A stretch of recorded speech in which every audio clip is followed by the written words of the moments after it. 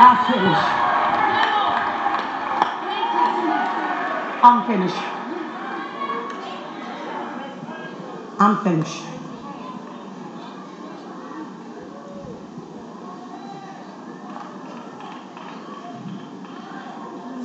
Medical scientists. You know, when I really started reading all this, and God wanted me to study this, medical scientists,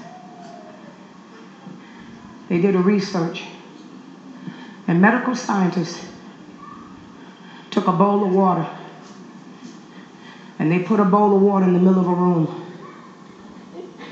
And they made all the scientists come in the room. And they told the scientists to talk about all the things that they were going through. And they took that bowl of water and they put it in the freezer and froze it. And then they took it out and put it on the microscope. And it was all kind of cold and black rust dirt marks in it. Go on, baby, get your deliverance. I don't shoot it. God told me to walk over and lay my hands on her. Because God gonna use that girl in the prophetic very heavy. There's a prophetic gift on her life that the enemy has tried to hold up. And the enemy has tried to suppress her. Harabashanda.